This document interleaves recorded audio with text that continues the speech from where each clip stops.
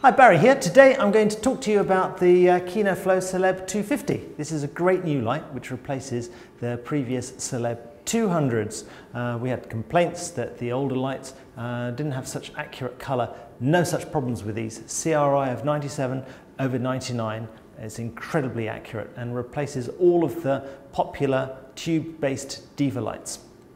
It's extremely portable and lightweight, only 5.8 kilos.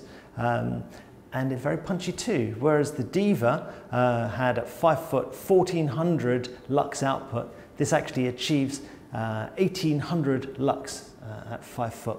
And of course, no tube changes, and it works over an extremely uh, wide range of color between 2,500 and 9,900 uh, Kelvin.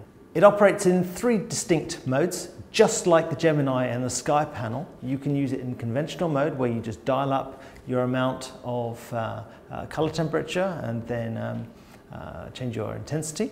Or you can work in HSI mode, which is uh, hue, saturation and intensity. Or alternatively, the most exciting is gel mode, where you can use it to synthesize uh, a wide variety of industry standard gels.